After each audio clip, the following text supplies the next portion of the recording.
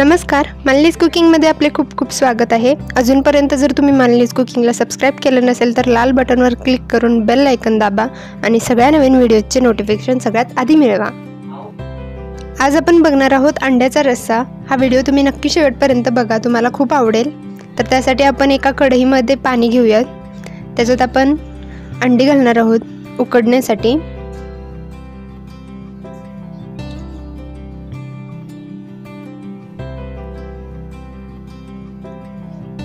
आता आपण यावर झाकण ठेवून अंडी उकडायला ठेवूया. साधारण पंधरा वीस मिनटात अंडी उकडतील. त्याच्यानंतर आपण ही अंडी सेपरेट काढून घेणार आहोत. आता आपण यासाठी लागणारा मसाला तयार करायला घेऊया. त्यासाठी आपण पॅनमध्ये दोन चमचे तीळ घेणार आहोत. खडे मसाले त्यात आपण लवंग दालचिनी जिरे दोन चमचे तीळ आणि स्टारफूल घालणार आहोत.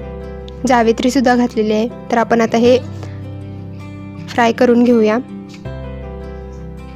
मसाला भाजताना शक्यतो गॅस कमी असावा म्हणजे बारीकच असावा. नाहीतर सगळं करपेल. आता आपण यात आलं घातलेलं आहे. चार पाच पाकळ्या लसूणच्या घातलेल्या आहेत त्या आपण सोलून घेतलेल्या नाही आहेत. त्यामुळे फ्लेवर खूप छान येतो. आता आपण याचा मसाला आपण मिक्सरमध्ये वाटून घेऊया. आता आपण हे सगळे भाजलेले मसाले मिक्सरच्या भांड्यात काढून घेऊ. आपण यात अर्धी वाटी ओलं खोबरं खोवलेलं ते घालणार आहोत. आता आपण हे मिक्सरमध्ये बारीक करून घेऊ. आपण जी मगाशी अंडी उकडली होती ती सोलून घेऊया. आता आपली सगळी अंडी सोलून झालेली आहेत तर आपण फोडणीची तयारी करूया. त्यासाठी आपण एका कढईमध्ये एक चमचा तेल घेतलेलं आहे. तेल थोडं गरम झालं की आपण यात आता कांदा घालूया. आपण हा कांदा फ्राय करणार आहोत. यात आपण जिरे वगैरे काहीही वापरलेले नाही कारण आपण मसाल्यात जिरे घातलेले आहेत. थोडीशी कोथिंबीर घालूया. फोडणीत कोथिंबीर घातल्याने कट खूपच छान येतो लालसर. तर आता आपण यात दोन चमचे लाल तिखट घालणार आहोत. हे कोल्हापुरी लाल तिखट आहे. अर्धा चमचा हळद चवीनुसार मीठ. आता आपण हे सगळं एकत्र करूया. आपण जो मगाशी मसाला क केला होता मिक्सरमधून तो घालू. आता आपण हे सगळं एकजीव करत फ्राय करणार आहोत. कढईला लागणार नाही याची काळजी घ्या.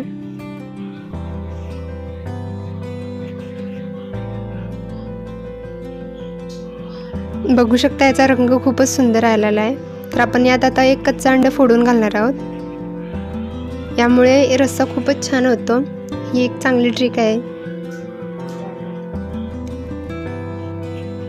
यामुळे तुमचा रस्सा असा पाण्यासारखा पातळ होणार नाही तर तो घट्ट होईल.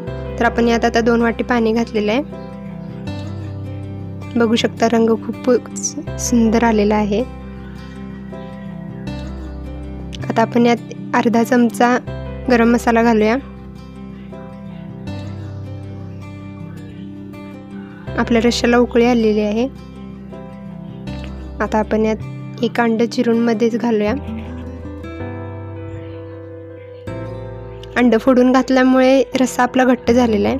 तर आता आपण हा रस्सा सर्विंग बाउलमध्ये काढूया. हा अंड्याचा रस्सा तुम्ही नक्की घरी करून पहा आणि आम्हाला कळवायला विसरू नका कमेंटमध्ये कसा वाटला ते. आणि व्हिडिओ आवडला असेल तर व्हिडिओला लाईक शेअर नक्की करा आणि आपल्या चॅनलला सबस्क्राईब पण करा.